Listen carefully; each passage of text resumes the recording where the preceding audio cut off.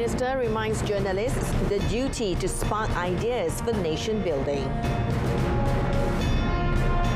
Ex UK Prime Minister resigns from the House of Commons.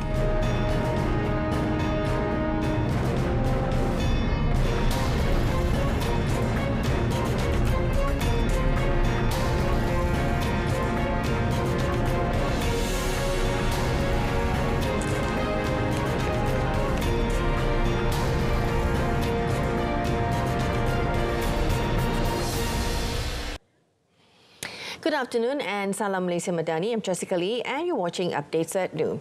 The journalists and the media fraternity have a duty not only to report authentic news but also to become guides and initiators of ideas in building the nation. According to Prime Minister Datuk Sri Anwar Ibrahim, media practitioners should feel free to share their views and give constructive criticisms to the country's leadership towards better governance.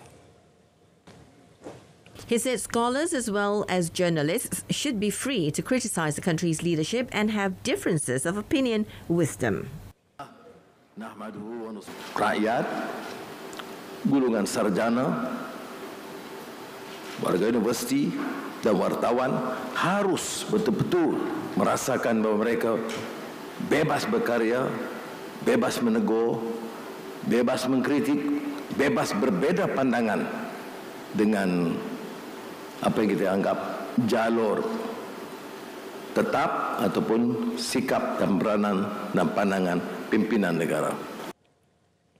The Premier said this when delivering a speech at the 2023 Malaysian Press Night in conjunction with the MPI Petronas Malaysian Journalism Awards HKM 2022 last night. The Prime Minister said the challenge of the hour is to re-elevate Malaysia's capabilities as a democratic country based on the concept of Malaysia Madani adding democratic freedom can only be elevated through fresh discourse driven by journalists. Now, also present were Communications and Digital Minister Fahmi Fadzil and his deputy Teo Nie Ching, Malaysia Press Institute MPI Chief Executive Officer Datuk Dr. Chamil Wariya, and Petronas Executive Vice President Liza Mustafa. Meanwhile, Datuk Dr. Chamil said for the 2022 edition of the MPI Awards, 368 entries were submitted compared to 350 in 2021. He also said Petronas has agreed to sponsor HKM for the next three years, which will also include a new category involving radio and television.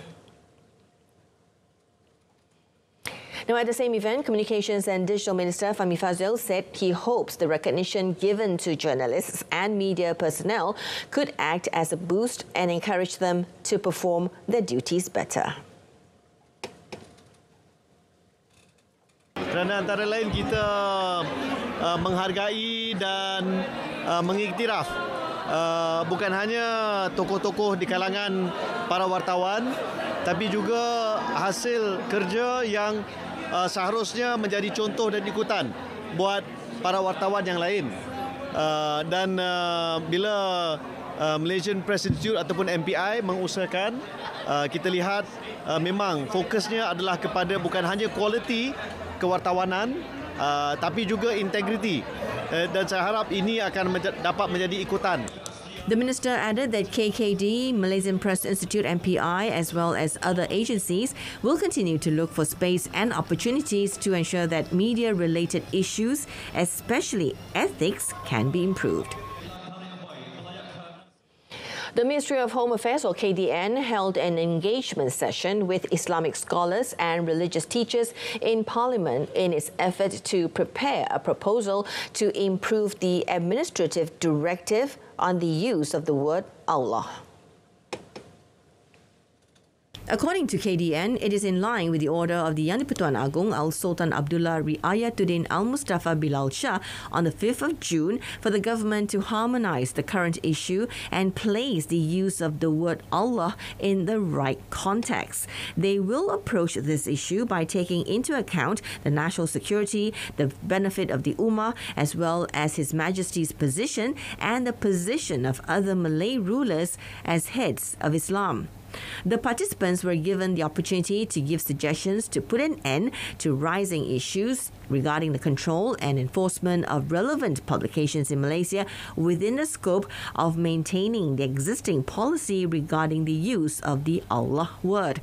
It said more engagement sessions will be held with other stakeholders, particularly with key opinion leaders, state Islamic religious councils, and the Department of Islamic Development of Malaysia or JAKIM to get holistic recommendations and coordination over the matter.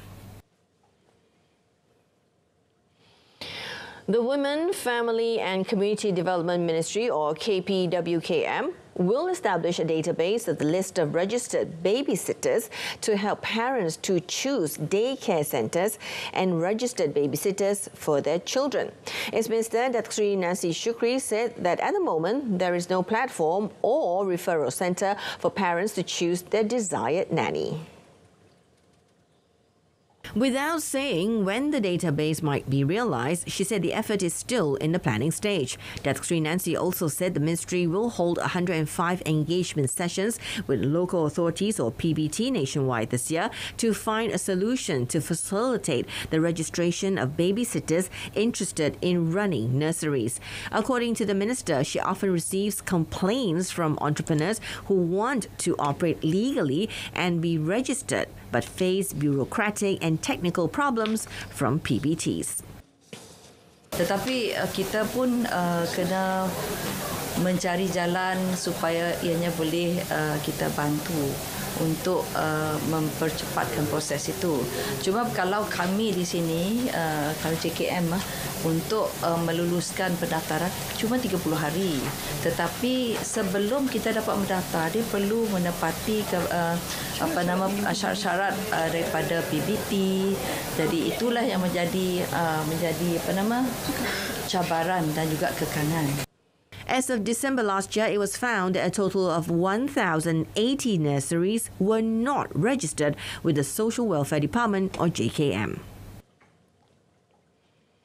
The Bank Negara Malaysia or BNM yesterday announced that the Yang di-Pertuan Agong has consented to the appointment of Dato Sheikh Abdul Rashid Abdul Ghaffour as governor for a five-year term effective 1st of July 2023 to 3rd of June 2028. In a statement, BNM said Datuk Sheikh Abdul Rashid will assume the position of governor from Tan Sri Nor Shamsiah Muhammad Yunus, who will complete her five-year term on the 30th of June. The BNM board also expressed its appreciation to Nor Shamsiah for her contributions and service to the bank and country. The board said Tan Sri Nor Shamsiah has demonstrated exemplary leadership and exceptional commitment in discharging her responsibility as governor and chairperson of the board. The board is also confident that with Dato Abdul Rashid's extensive experience and proven track record in the bank, he will drive the bank further forward and continue its tradition of excellence in advancing the interests of the country. Dato Abdul Rashid joined the central bank in 1988, rising to the position of deputy governor in 2016. He is currently a member of the Monetary Policy Committee and Financial Stability Committee, a position he has held since 2015. He also played key roles in the development and implementation of the financial sector master plan and financial sector blueprints.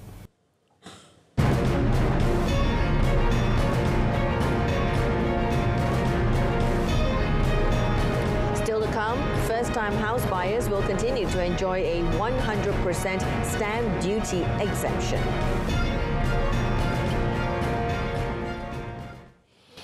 Di Pertuan Agong Al-Sultan Abdullah Riayatuddin Al-Mustafa Bilal Shah and Raja Permaisuri Agong Tunku Aziza Amina Maimuna Iskandaria today attended the trooping of the colour ceremony at Dataran Pahlawan Negara in Putrajaya. The Majesties arrived at 8.30 a.m. as the Negaraku national anthem was played, with five armed forces aircraft bearing the Jalur Gemilang national flag performed a fly past overhead led by Major Muhammad Husni Muhammad Tarmizi of the Royal Malaysian Air Force. Simultaneously, a 21 gun salute was fired by the 41st Battalion Royal Artillery Regiment, led by Lieutenant Colonel Muhammad Azri Chewil. Al Sultan Abdullah then inspected the Guard of Honor mounted by 57 officers and 862 personnel from the three MAF wings led by the commanding officer of the 12th Battalion of the Royal Malay Regiment, Lieutenant Colonel Muhammad Azmi Azamri Abdullah. Now, the king then took the royal salute as the five MAF aircraft performed another flypast before leaving at 9.30 a.m. The ceremony was also attended by Prime Minister Datuk Sri Anwar Ibrahim and his wife, Datin Sri Dr. Wan Aziza Wan Ismail, Deputy Prime Minister Datuk Sri Fadila Yusof, Armed Forces Chief General Tan Sri Effendi Buang, as well as Defence Minister Datuk Sri Muhammad Hassan. Trooping the colours is a demonstration of respect, honour and ceremonial pledge of allegiance by the three services of the armed forces to the King and the country. Dan terbang lintas hormat oleh lima buah pesawat helikopter Now, first-time house buyers will continue to enjoy a 100% stamp duty exemption for purchases not exceeding 500,000 ringgit via the Malaysian Home Ownership Initiative or iMilik or iMiliki as provided for under Budget 2023. Now, according to Finance Ministry or MOF, a 75% stamp duty exemption will also be given for first-time home ownership for houses priced at between 500,000 ringgit and 1 million ringgit under the iMiliki initiative. In a statement, MOF said this stamp duty exemption applies to sale and purchase agreements executed from the 1st of June 2022 until the 31st of December 2023. It said the exemption comes under the Home Ownership Program or HOPE, where first-time buyers are given stamp duty exemption on transfer documents and loan agreements. The move is aimed at encouraging home ownership among the people. The MOF also said the stamp duty on instruments of transfer of ownership of real estate by way of love and affection between parents and children and between grandparents and grandchildren is also fully exempted, limited to the first 1 million ringgit of the property's value. The remaining balance of the property's value is subject to the ad valorem duty rate with a 50% remission of the stamp duty chargeable. It added that this stamp duty exemption applies to real estate transfer documents executed from the 1st of April 2023. Now, in a fit of jealousy, an Indian national brutally stabbed his girlfriend 18 times with a paring knife in a condominium unit in Kelana Jaya last week. Petaling Jaya District Police Chief ACP Muhammad Fakhruddin Abdul Hamid said the details came to light when a 30-year-old suspect was caught trespassing on the train track by, by a Express Rail Link or ERL auxiliary police team a day after the incident. Kes bunuh melibatkan mangsa satu perempuan warga negara asing iaitu warga negara India. Pada 3 bulan Jun 2023 jam lebih kurang 4.50 petang pasukan keselamatan dari Express Rail Link Salak Selatan telah menahan satu lelaki warga asing yang telah menceroboh masuk ke landasan he said the suspect was then handed over to the police and on further interrogation, he confessed to killing his 40-year-old girlfriend. According to ACP Fakhruddin, the suspect killed his lover out of jealousy because he believed that the woman was having an affair with their housemate. A police team then went to the condominium unit to find six foreigners, including a woman and a local man there. ACP Fakhruddin said the suspect then led the police to the victim's room where a woman was found lying lifeless in a pool of blood. A knife believed to be the murder weapon was also found nearby. The suspect, along with seven other occupants of the condominium unit, were remanded for seven days since the 4th of June to assist in the investigation under Section 302 for murder. Now, a baby girl who is just several days old was found abandoned in front of the main entrance of Masjid An-Nahija Sungai Kepar near Semanggol, Perak yesterday. Kerian Police Chief Superintendent Juna Yusof said worshippers stumbled upon the baby who was healthy and wrapped in a piece of cloth. In a statement, Superintendent Juna said a CCTV recording shows a woman believed to be a Malay entering the mosque compound and abandoning the baby there at 11:58 a.m. He urged anyone with information on the case to contact the police and the woman in the video recording to report to the Kerian District Police Headquarters to help in investigations. He added that the case is being investigated under Section 317 of the Penal Code for abandonment of an infant.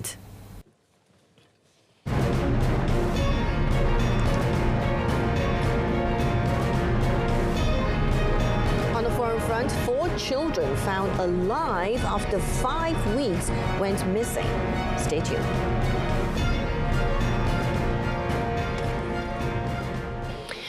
Former British Prime Minister Boris Johnson abruptly quit as a Member of Parliament on Friday in a furious protest against lawmakers investigating his behaviour, reopening deep divisions in the ruling Conservative Party ahead of a general election expected next year. Now, Johnson had been under investigation by a parliamentary inquiry looking into whether he misled the House of Commons about lockdown breaking parties in Downing Street during the COVID 19 pandemic after Johnson received a confidential letter from the committee, he accused lawmakers investigating him of acting like a kangaroo court and being determined to end his political career. Accusing the committee of mounting a political hit job, Johnson said in a statement he was being forced out by a tiny handful of people with no evidence to back up their assertions. Parliament's Privileges Committee, the main disciplinary board for lawmakers, had the power to recommend Johnson to be suspended from Parliament. If the suspension is more than 10 days, voters in his constituency could have demanded he stood for re election to continue as their representative. Now, Johnson hinted that he could return to politics, declaring he was leaving Parliament for now. The United Nations on Friday said that UN personnel cannot be made persona non grata after Sudan declared UN Special Envoy to Sudan, Volker Perthes, unwelcome in the country.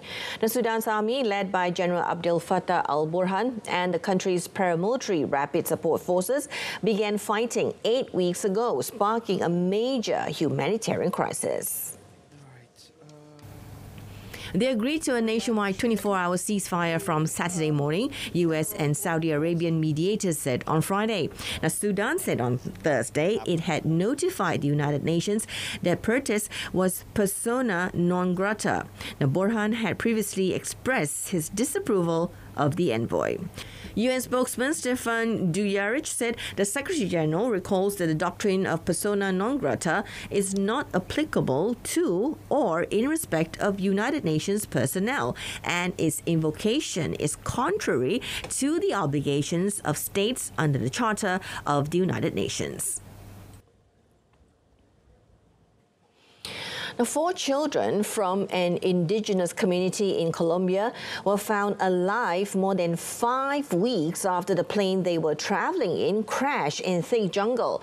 Colombia's President Gustavo Petro said the children are now receiving medical attention and will travel to Bogota or back home to Villavicencio once doctors are sure that they are fit physically and mentally. The children were rescued by the military with help from local indigenous communities near the border between Colombia's Caqueta and Guaviare provinces, close to where the small plane had crashed. A photo shared by Colombia's military showed a group of soldiers with the four children in the middle of the jungle. The plane, a Cessna 206, was carrying seven people en route between Araracuara in Amazonas province and San Jose del Guaviare, where it issued a Mayday alert due to engine failure in the early hours of the 1st of May. Three adults, including the pilot, died as a result of the crash, and their bodies were found inside the plane. The four children, aged 13, 9, and 4, as well as now a 12 month old baby, survived the impact. Petro initially reported that children had been found on the 17th of May in a message on Twitter, but later deleted the post saying the information was unconfirmed. Rescuers supported by search dogs had previously found discarded fruit the children ate to survive, as well as improvised shelters made with jungle vegetation.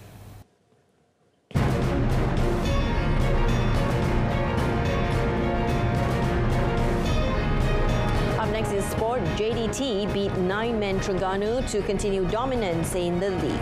That and more in our sports segment. Now, kicking off our sports segment today, two red cards received by Terengganu FC overshadow a spectacular acrobatic goal worthy of winning any match from Fernando Forestieri to see Johor Darul Takzim JDT extend their impressive record after a 3-1 victory over the hosts last night. The match started in grand fashion as more than 10,000 fans had filled the Sultan Mizan Zainal Abidin Stadium in Gong Badak, Kuala Terengganu. Now, both teams were evenly matched for the first 20 minutes before Forestieri produced a moment of magic to break the deadlock with a spectacular acrobatic kick from outside the box, stunning the home crowd. Awakened by the goal, Terengganu equalized eight minutes later through a free kick taken by import Sony Norde. However, Norde went from hero to zero when his tackle on Arif Aiman Muhammad Hanapi saw JDT awarded a penalty, which Bergson da Silva put away to restore the lead well into the first half injury time. Into the second half, the home team suffered a severe blow when Montenegro import Argzim Redzovic was axed for a rash tackle on Forestieri in the 52nd minute, while substitute Ivan Mahmud was given the marching orders in the 74th minute for an elbow on Muhammad Feroz Baharudin. Now, down to nine men, it was inevitable that JDT punished the home team when Endrick Dos Santos made it 3 1 well into injury time of the second half.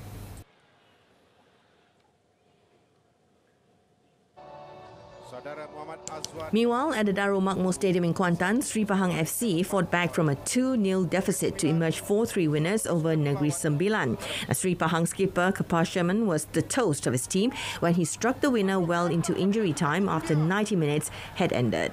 Negeri Sembilan, despite playing away from home, took the lead in the 8th minute through Harold Magulon, while Muhammad Sharil Fikri Muhammad Fauzi added the second in the 15th minute.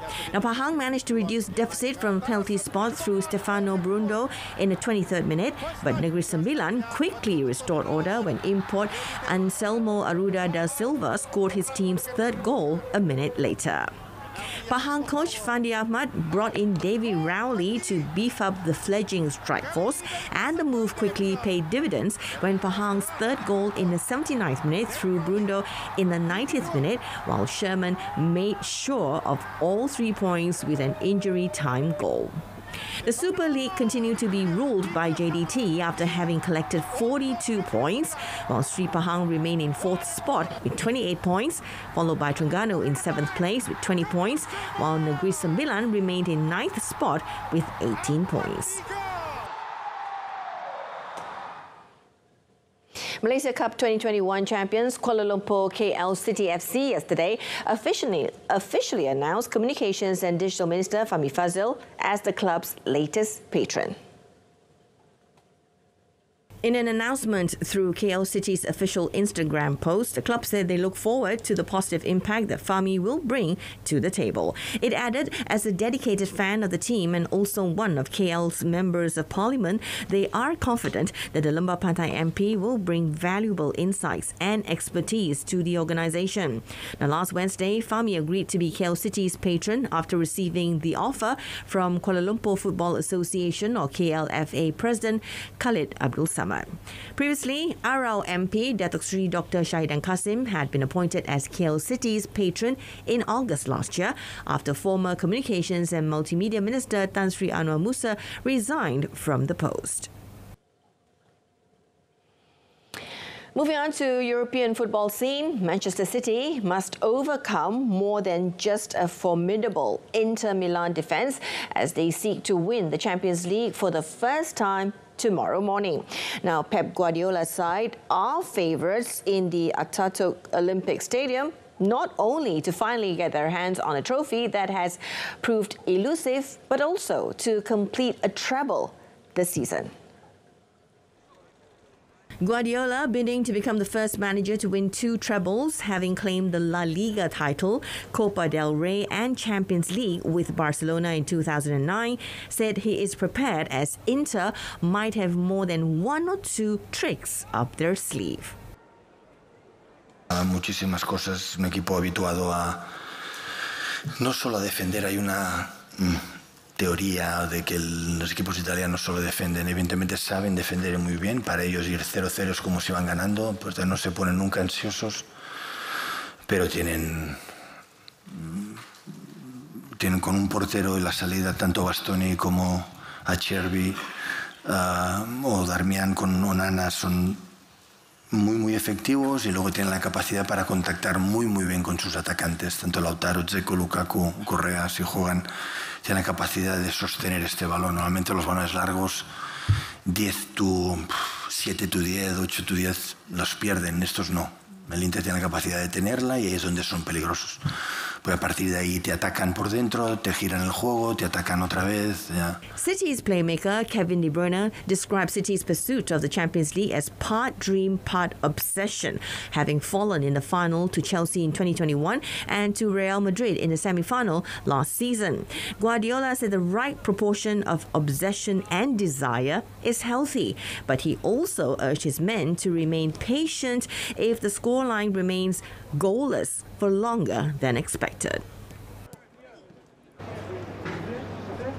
Meanwhile, Inter Milan Simone Inzaghi are ready to shock the football world by beating Manchester City, who are the favourites for the clash as they chase a treble, having won their fifth Premier League title in six years and the FA Cup. However, Inzaghi's side are in good form themselves, having won 11 of their last 12 matches in all competitions. The Italian labelled City as the strongest team in the world, but said that his players were ready to cause an upset. Ma eh, noi chiaramente sappiamo domani il tipo di partita che, che, do, che dovremo fare. Indubbiamente sappiamo che il Manchester City è la squadra in questo momento più forte al mondo, lo ha dimostrato anche nelle pochissime sconfitte che hanno avuto, ma noi sappiamo il percorso che abbiamo fatto, siamo orgogliosi di essere arrivati fin qua e faremo di tutto per fare una partita di una concentrazione incredibile sapendo che dovremo limitare gli errori, fare, fare il massimo perché affrontiamo una squadra molto molto forte. Inter, who have won the European Cup three times before, have already secured the Coppa Italia and Supercoppa Italiana this season and will use their experience of winning tough against City.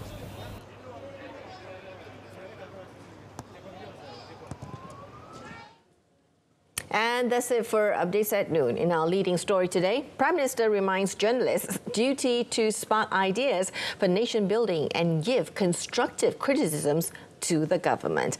Do join us again at 8.30 p.m. tonight for latest news. Till then, I'm Jessica Lee. Thank you for watching Malaysia Madani, Teka Perpaduan, Penuhi Harapan.